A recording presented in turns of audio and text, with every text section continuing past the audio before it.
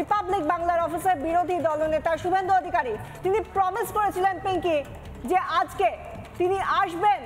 কারণ যেভাবে রিপাবলিক বাংলায় রিপাবলিক বাংলায় শুভেন্দু অধিকারী আজ রিপাবলিক বাংলার নিউজ রুম থেকে সরাসরি প্রেস কনফারেন্স রাজ্যের বিরোধী দলনেতা শুভেন্দু অধিকারী। রাজ্যের বিরোধী দলনেতা শুভেন্দু অধিকারী আস্তে আস্তে আমাদের এই বিল্ডিং আমাদের এই অফিস নিউ টাউনে যে অফিস আমাদের ডিএলএফ ওয়ান, সেখানে এগিয়ে আসছেন। শুভেন্দু অধিকারী, আর কিছুক্ষণের মধ্যে একেবারে আমাদের মেন এন্ট্রান্স অফিসের মেন এন্ট্রান্স সেই এন্ট্রান্স দিয়ে ঢুকে পড়লেন শুভেন্দু অধিকারী।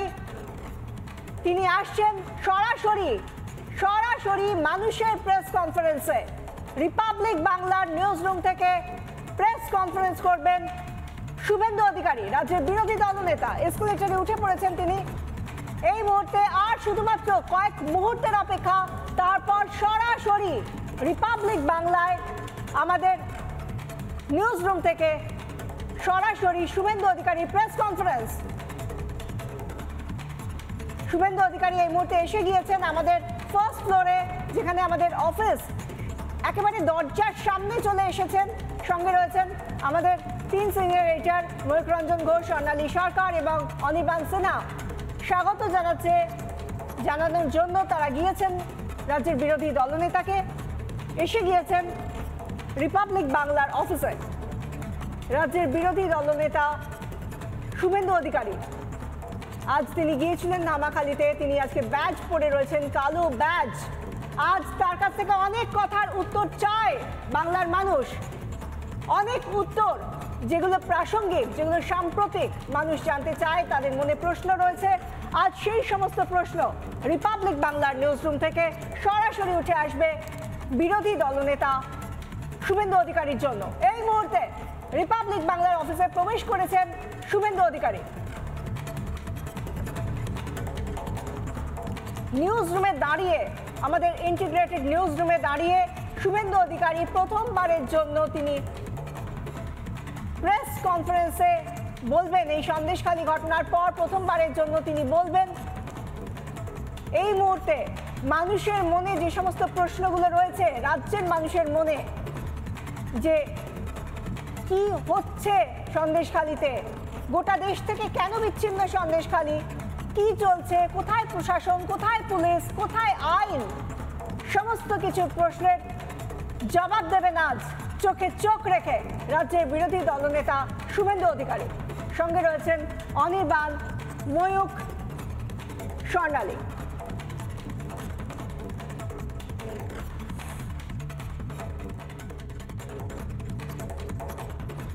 উপস্থিত আমাদের রিপাবলিক বাংলার টিম মেম্বাররা, তারা সামনে থেকে শুভেন্দু অধিকারীকে দেখে, শুভেন্দু অধিকারীকে সামনে পেয়ে তাদের মনেও প্রচুর প্রশ্ন রয়েছে, যেগুলো জমে রয়েছে।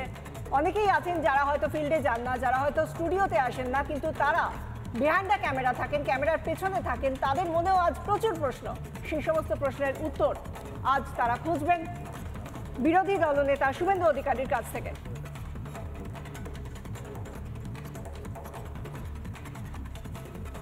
আজ রিপাবলিক বাংলার ইন্টিগ্রেটেড নিউজ রুমে রয়েছেন বিরোধী দলনেতা শুভেন্দু অধিকারী, কালো ব্যাজ পরে আজ রিপাবলিকে এলেন শুভেন্দু। এখন তিনি একেবারে তৈরি, ঘুরে দেখছেন রিপাবলিকের নিউজ রুম পরিচয় হচ্ছে তার নিউজ রুমে থাকা বহু এমন মানুষের সঙ্গে, এমন রিপাবলিকের কর্মীদের সঙ্গে যাদেরকে হয়তো ক্যামেরা রয়েছে, অনির্বাণ রয়েছে এবং গোটা নিউজ রুম রয়েছে। শুভেন্দু অধিকারী সলিডারিটি জানাতে আমাদের সঙ্গে রয়েছেন। আমি পিসিআরকে বলব, আমাদের এডিটার ইন চিফ অর্ণব গোস্বামীও আশা প্রকাশ করেছিলেন যে উনিও আমাদের সাথে যুক্ত হবেন। আর কয়েক সেকেন্ডের মধ্যে উনিও অনলাইনে থাকবেন। আমি অনুরোধ করছি ওনাকেও নিয়ে আসার জন্য। প্রথমেই thank you Suvendu Adhikari at least আপনি এভাবে এই ছোটো ছোটো বাচ্চা, এদের এদের বয়স কুড়ি থেকে পঁচিশের মধ্যে, এই বাচ্চা ছেলেমেয়েগুলো মধ্যবিত্ত বাড়ি থেকে আসে, খাটের নিচে টাকা থাকে না, বাড়িতে আবার বকা খায়, সকালবেলা অফিস আসতে হয়। এদের মনোবল বাড়ানোর জন্য সন্তু পানের সহকর্মীদের, কি বলবেন? দেখুন, আমি যা বলব সেটা গতকাল থেকেই আমি বলছি। সন্টু যখন ওখানে কার্যত মমতা পুলিশের ঘেরাটোপের মধ্যে, ওকে মেন্টাল টর্চার করা হচ্ছিল। এবং ওখানকার যে দেশি যন্ত্রচালিত নৌকো বা বোট সেখান থেকে নামিয়ে নেওয়া হচ্ছিল। তখন আমি একবার ভিডিও কল করেছি একবার অডিও কল করেছি। পশ্চিমবাংলায় তো মমতা ব্যানার্জির পছন্দের তালিকায় যারা থাকেন না তারা হোয়াটসঅ্যাপ কল অথবা ফেস টাইম কল ছাড়া কথাও বলতে পারে না।